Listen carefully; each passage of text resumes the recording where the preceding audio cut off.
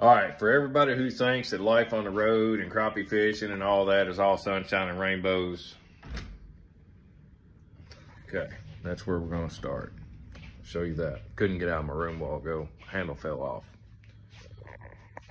Does anything look funny about that to you all? Get down here where y'all can see it real good. It ain't got but about an eight inch dip in the bed there. But on the positive note, if I ever get hungry, all I've gotta do is go to my microwave.